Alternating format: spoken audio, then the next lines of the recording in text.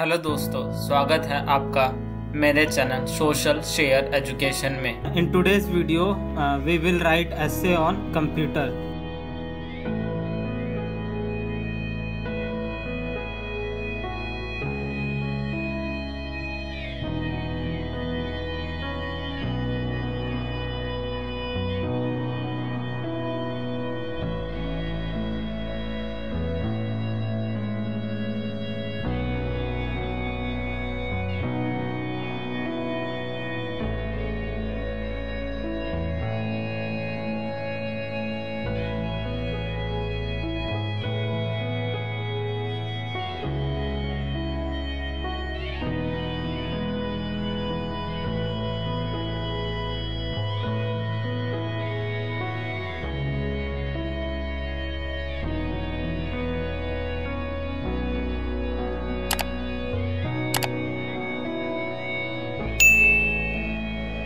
computer. Stands for Common Operating Machine, particularly used for trade and research.